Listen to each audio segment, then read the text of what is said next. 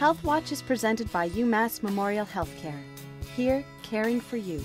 Many patients are asking nowadays whether the headaches they are experiencing are related to COVID or their migraines. Every patient has a risk of catching COVID, but migraine patients do not have a higher risk.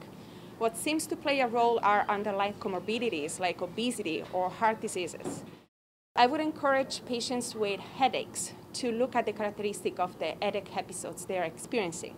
And if there are differences in terms of quality, intensity, and frequency, I would encourage to seek medical attention. We do know that 5 to 10% of patients with COVID do experience a new onset of headache. If you have repeated headaches with different qualities to the previous headache attacks, I would encourage to call your doctor.